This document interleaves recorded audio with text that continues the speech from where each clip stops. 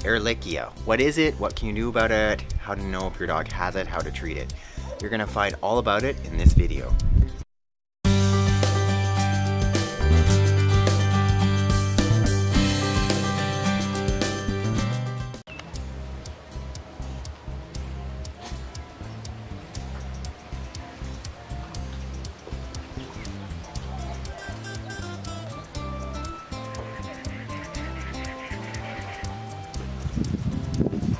Hello you guys, welcome back to my channel. For those of you who are new, welcome.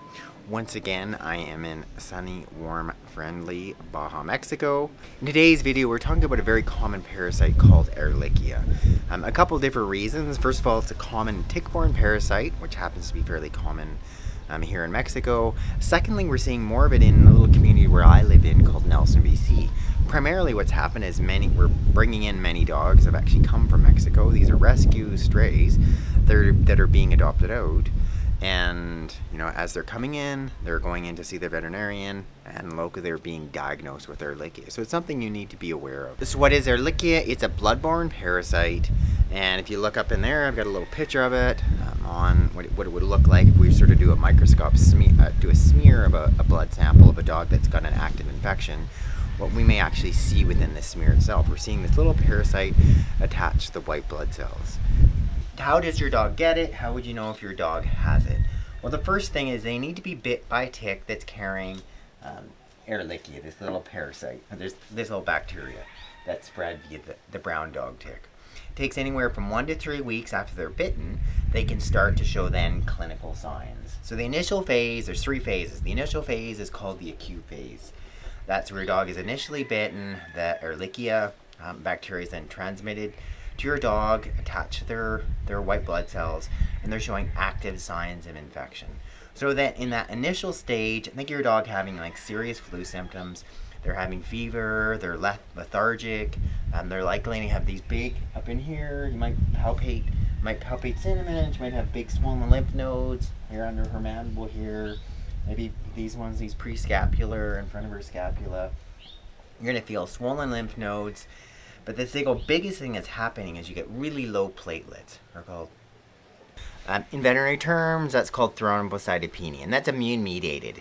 Um, they're also attaching the platelets, the body's attacking them, they get extremely low. So that's sort of one of the initial screening tests, and you're going to see a dog that's got all these associated signs, followed up with low platelets. You're going to really um, Ehrlichia is going to be high on the sort of differential diagnosis list. The next phase is called subclinical. That's sort of after it goes through the acute phase. Let's say the dog, your dog has not been treated, or or a dog such as cinnamon here living in Mexico has not been treated, and there can sort of it's sequestered. It can hide itself within the spleen, so it's not showing active signs of infection. Um, the only real, they say, indicator may be that you, your dog, the dogs may have slightly low platelet count and or elevated globulins. That's a type of protein that's going to go up when there's an immune response. So you know, the immune system is chronically stimulated, thinking about trying to fight this little bacteria that's hidden within the white cells within, within the spleen. Um, but at the same point, you know, you've got slightly low platelets because they've been damaged by the immune system. But there's not overt active signs of infection. So the subclinical phase, it can last for months, even to years. And you know, during that time, uh, the dogs can appear 100% clinically normal. Then the last phase, which happens in a certain percent of dogs, is called the chronic phase.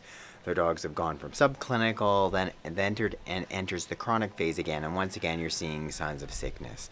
So the biggest things is these chronic low levels of platelets. These guys have these ongoing bleeding disorders, or this thrombocytopenia secondary to low platelets.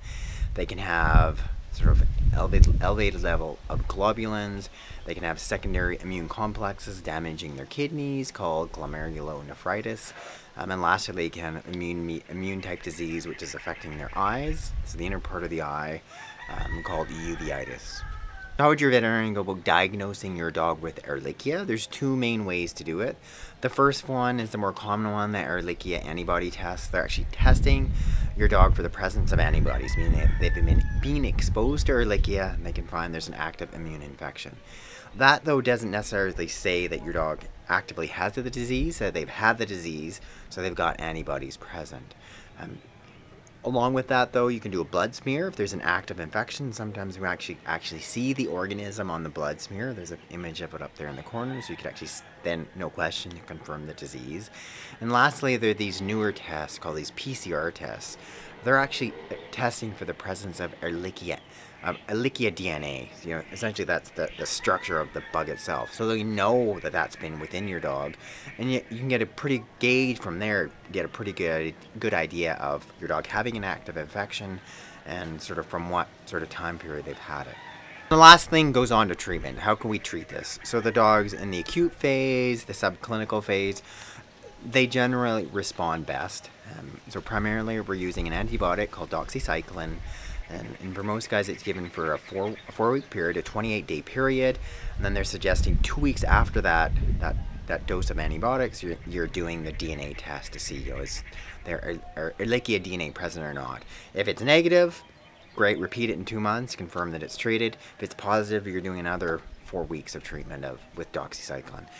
But those are guys that respond best. That's that's the acute clinical, the acute phase where their dog's first sick. Most of you guys are to recognize that.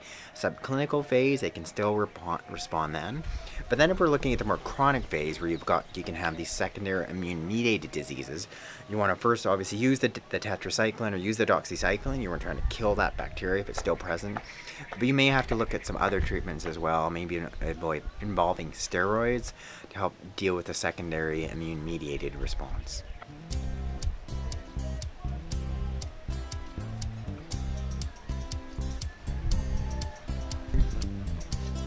So thanks again, you guys, for watching this edition of Veterinary Secrets. Um, once again, you gotta thank Cinnamon. She sort of took off midway in the video. She's like, I'm done. Man, you got rid of the ticks. I use me for one video. Don't keep using more. She's an awesome dog. Um, there, here, here she is again. Um, so definitely give give her a thumbs up to this video. Click up there to subscribe to my channel. And lastly, click that link directly in the box below. When you do that, you sign up for my newsletter. I you my free books and my free videos on how to heal your pets at home with my top natural remedies.